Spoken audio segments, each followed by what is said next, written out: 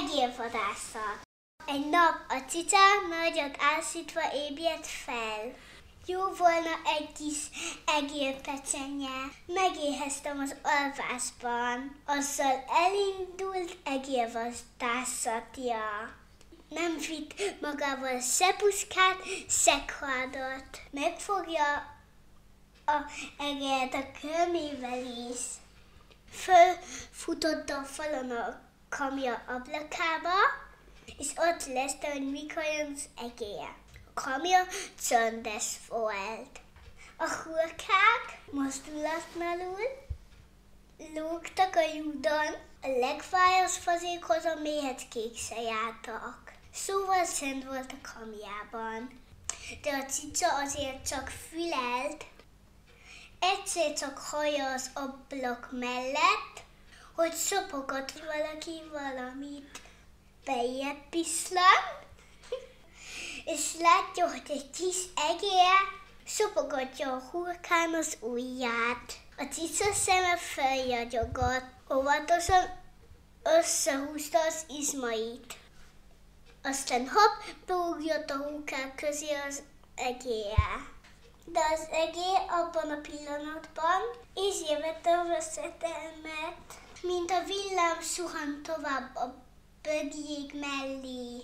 A cica utána.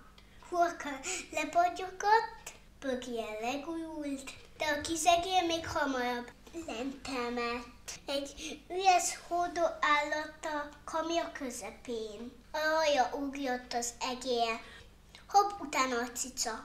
Kerkedősnek szaladgálnak a hordó körül. Mikor a cica megfordul, hogy szembe ütközzék, a kiszegé átugik a cicán, úgyhogy a cica csak a levegőbe kap, de nem fog semmit. Ennyi kópé! Most tovább bújna az egér üvegek közé. Jegyzetek el üvegek! Így cincog a kiszegél. Jegyzetek el engem, nyomomban van a cica. Be akar kapni. Az üvegek szűrt csoportba álltak, de nem tudták eljejteni az egelyet, mert átlátott a cica a derekon. Oda is ugrott. Szétjukta az üvegeket. Az egé abban a pillanatban az üres koszába szújjant. Takarj el, takarj el! Így szólt az egé a koszához. Nyomomban a cica is be akar kapni. A koszának nem volt ideje eltakarni a egelyet. A cica beugrott a nyílásán, és meghemberedett a kaszájjal együtt. De az egé ez alatt kiugrott a kis lyukon, és a tojásos kaszá alatt jejtőzött. Jó tojás kaszá! Így szólott ilyen megve. Szalkamban a cica, takarj el! A tojásos kaszá eltakarta az egelyet. Hé, hey, de a cica megérezte a pecenye szagát. Most megfoglak, szólott. Azzal zupsz, jött a tojásokja. Persze a kiszegél megint kiszabadult a kömei közül. Fölugrott a vizes szajtát tetejére.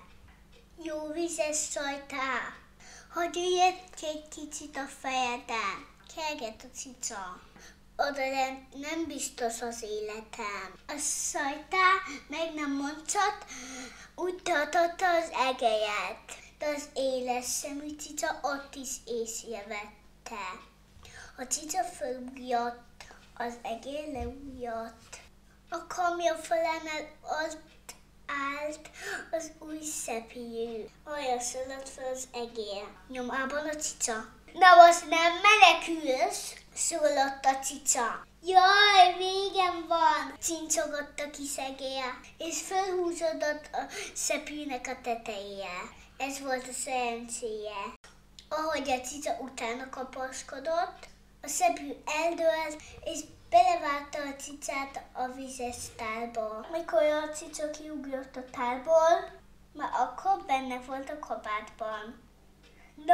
Gondolta a kiszegér. Itt már nem talál meg a cica, de bizony megtalálta. A szígyő egyenesen beugrott a kabát ujjába. Szent az egérnek, hogy szűk volt a kabát ujja.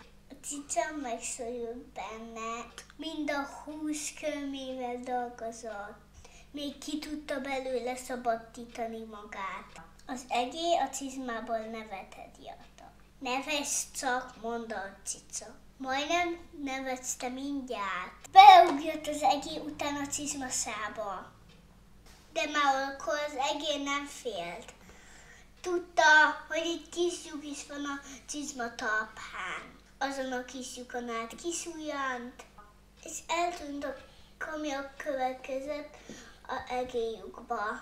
A cica egy darabig katojázott a cizmában, de amikor meglátta a lyukot a cizma gyorsan visszavonult. Elkésztem, ma se eszünk egész pecemnyét. Cica, cica, ha csak ez volna a baj. De mi szól majd édesanyám, ha meglátja a törött tojást, gurult fazekat és a rendetlenséget? Cica, cica, jó lesz, hogyha ma nem mutogatod.